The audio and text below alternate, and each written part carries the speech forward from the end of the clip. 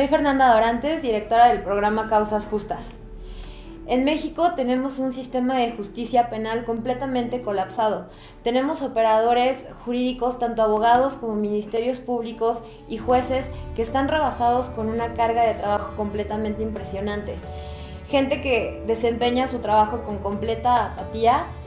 Todo este problema aunado a cuestiones como la corrupción y la impunidad que afectan gravemente a nuestro país, generan no nada más un daño para toda la sociedad, sino para personas que injustamente y siendo inocentes son puestas en prisión. Aquí está el muertito, dice este tú lo mataste, dice, dice se llama Fernando y aquí está la pistola con que lo mataste, le digo yo, no, no, sí, dice, tú fuiste, dice. Le digo, y me presentan una hoja, así una como tipo boleta, no sé qué, y dice, mira, mira, dice, aquí está. Digo, ¿eso qué es? Yo como no veo bien. Dice, ¿no sabes qué es? Le digo, no, no sé. Y dice, léesela, dice, para que se entere. Le dijo al otro, léesela tú, dice, para que se entere. Dice, homicidio calificado. Y nomás vea cómo sentí yo. No, sentí como, dije, pues, ¿qué pasó? ¿Por qué homicidio? Homicidio calificado. Mi sentencia que me dieron fue de 23 años, 9 meses. La meta para este año es poder obtener la libertad de 20 personas más y para ello necesitamos el apoyo y el involucramiento de toda la sociedad. Tenemos que dejar de pensar que estas personas por algún motivo están en la cárcel porque se lo merecen o porque seguramente en algo están implicadas. Esto no es así y es un problema que nos atañe a todos. Es un problema de impunidad y tenemos que partir de que por cada persona inocente que hay en prisión hay un delincuente que está en la calle. Pues ahorita en realidad lo que sigue es echarle ganas y llenos de felicidad, llenos de felicidad.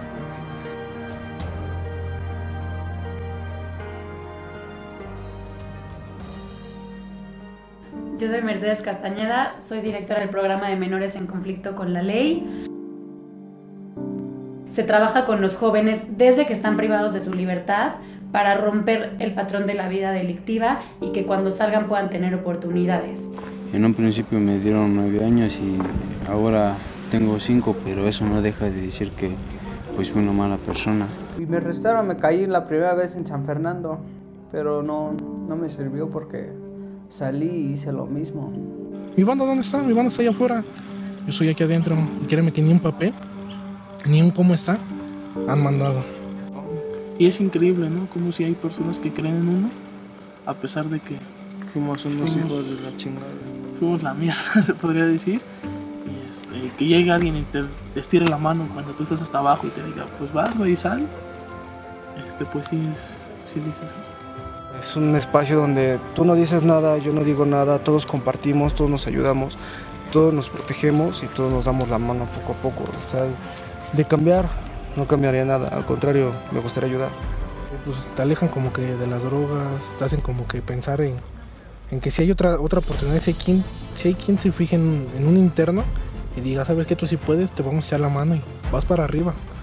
Eso, eso es lo que alienta a uno como que a, a seguir adelante. Tenemos una casa de medio camino en donde jóvenes que quieran salirse de la vida delictiva eh, buscan el apoyo y se lleva su proceso de reinserción, dando oportunidades y una red de apoyo sólida para que tener un país más seguro, alejándolos de la vida delictiva. Seas quien seas, ellos no se fijan este, qué es lo que hiciste ni nada de eso, al contrario, ellos te echan la mano para que te dan un empujón para que tú sigas tu camino, pero un buen camino, ¿no? Te, te guían para un buen camino. Hemos trabajado con más de 200 jóvenes, esto es jóvenes de 14 a 20 años que cometieron delitos y están privados de su libertad. Para mí Reinserta, más allá de ser este como un grupo que ayuda a las personas, para mí es como una familia, donde todos son, todos nos apoyamos, este, donde tú te sientes mal o cosas así y es encuentras como un apoyo incondicional, incluso hasta un amor entonces es algo que te motiva y te dan ganas de ayudar a las demás personas. Te da muchas oportunidades y te hace cambiar tu vida. Te hace enfocarte en otra cosa y no, seguir en lo mismo. Gracias por confiar en, nosotros.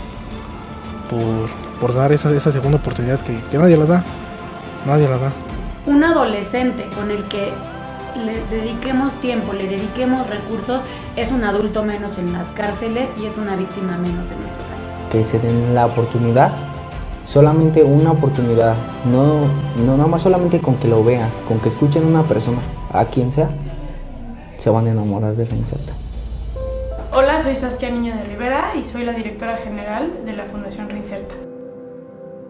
En Reinserta trabajamos con los niños que nacen y viven en prisión. Son más de 600 niños que hoy eh, viven sus primeros seis años detrás de las rejas de, de nuestro país.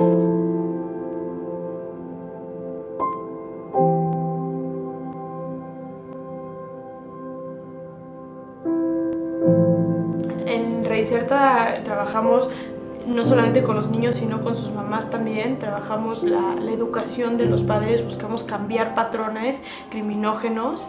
Eh, estas mujeres muchas veces replican la educación que ellas tuvieron en sus casas de mucha violencia, de mucho maltrato, de mucho abuso con los hijos, lo cual nos lleva a que estos niños en los primeros años de sus vidas tengan muchos traumas. Entonces trabajamos el cambio de patrones en la educación, trabajamos las vivencias y las experiencias de estos, de estos niños que no por estar en prisión se sientan o se vean limitados en su desarrollo y trabajamos el factor de la dignificación carcelaria.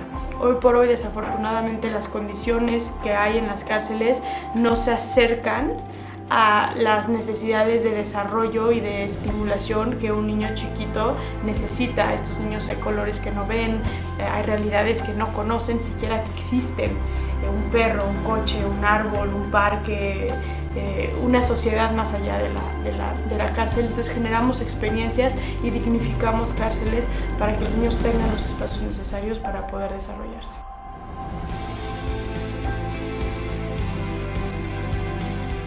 Creamos bebetecas, que son espacios lúdicos adentro de la cárcel para el mejor desarrollo de estos niños. Eh, generamos espacios de diversión al aire libre dentro de las cárceles para que estos niños puedan tener eh, momentos libres de, cárcel, libres de reclusión. Sacamos a los niños de la cárcel eh, tres veces al año por lo menos para que vivan diferentes experiencias que conozcan que hay mucho más allá de las cuatro paredes de una prisión. Hemos hecho un estudio de maternidad a nivel nacional, trabajando con más de 2.500 mamás y más de 300 niños en, en, en, en, prisión y trabajamos semanalmente intervenciones tanto con los niños de estimulación temprana como de escuela para padres con las mamás.